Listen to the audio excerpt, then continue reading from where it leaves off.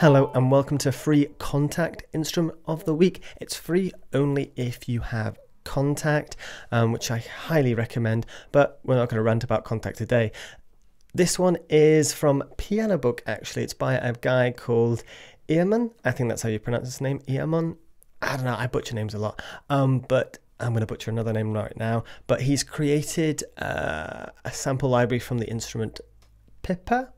Uh, it's a Chinese pluck string instrument, and what I love about this is he's actually extended the range. It looks like he's uh, pitched it down, which when you're sampling, always pitch down, never pitch up. Pitching up, or you can slightly, but it's very synthetic. Pitching down, you always get a better result. I actually like doing it with bells. I like uh, pitching it down because you get this really nice, ominous sort of effect and it elongates the sound.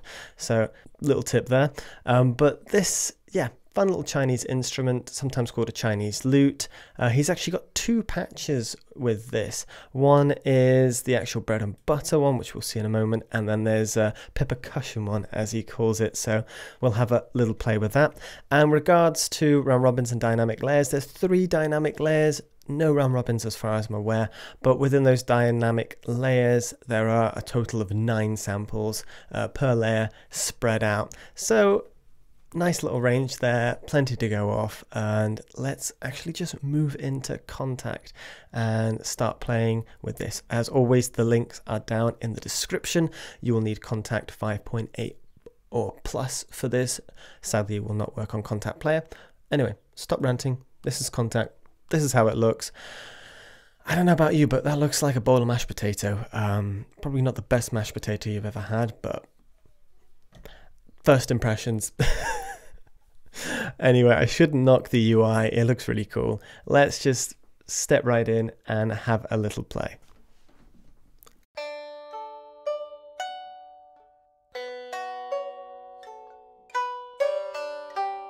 I love that release volume. Oh, sorry, release trigger, I should say. Is there a release trigger is that just the on? Oh, there is.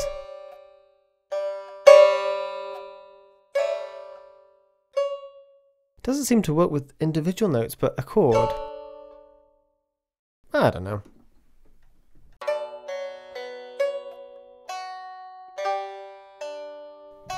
It seems a little narrow in its um, EQ. I don't know what he recorded it with.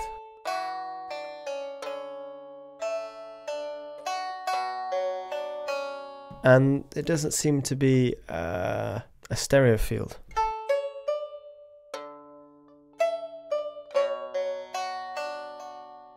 But you can get a free one off of iZotope. Uh, it's like Ozone Imager 2 or something like that. So type iZotope Ozone Imager 2 into Google and you can pick up a free stereo um, sterilizer, I was going to say. No, uh, stereoizer.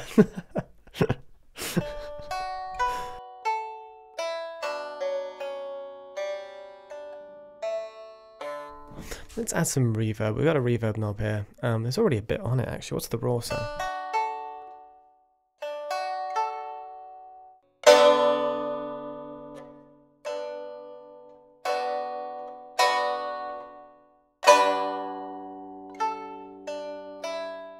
Uh, release of volume. I'm going to turn that up a bit.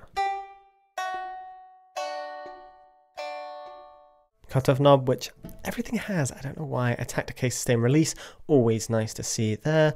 Very bog standard knobs. Love it because that's exactly what you need with a bread and butter patch. Does this do anything? I don't know, but we seem to have a trigger down here. What does this do?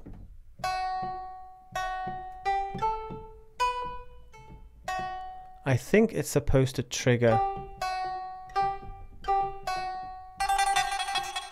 There's the tremolo. Wow. I think the other one is supposed to trigger the plucked because I think there's three articulations. There's the plucked, there's the um, the one we're actually just listening to, the standard one, and then there's the tremolo. But I'm hearing both the plucked uh, and the other one. Hmm. Might be slightly broken. Still sounds cool. Um, let's move into the percussion and see what happens here. Percussion and chords, reverb cutoff, and the beautiful attack sustain decay release. A little bit of reverb. Wonder what's going to happen here.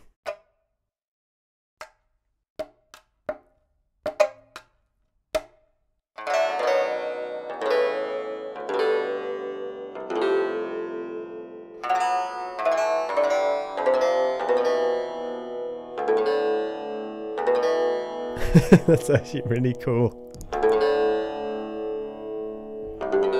See what I mean? When you pitch something down, this is the top one, but the bottom one sounds dramatic. Um, and then, of course, you got actually a nice little percussive patch. It reminds me of a lot of the little orchestral tools, what they sound pack things they do. And you got some round robins. I think those are dynamic layers. Ooh, yeah. Ooh. That's fun. I think this is slightly broken um, with the other bit, but overall, this is a really nice rounded little bread and butter patch, um, an instrument, Pipa. There you have it. If this is what you're looking for, enjoy. Um, I rate it, but as I said, it might need some little tweaks, but that's easy to do and hopefully they get fixed if I am right because I feel like there's supposed to be three articulations and it's slightly broken. Or it could just be me. Anyway, thank you so much for watching. I've hoped you've enjoyed this video and I will see you in the next one.